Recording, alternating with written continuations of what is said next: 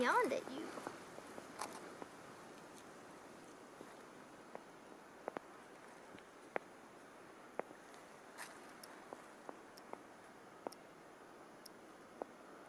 That's probably the prettiest one of those I've ever seen, too, with that reddish side and almost a stripe down the back. They don't usually have that.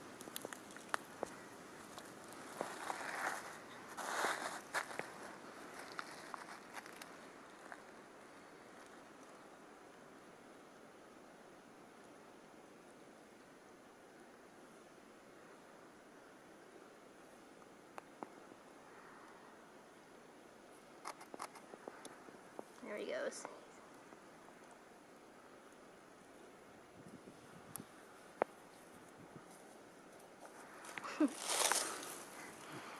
Whoop.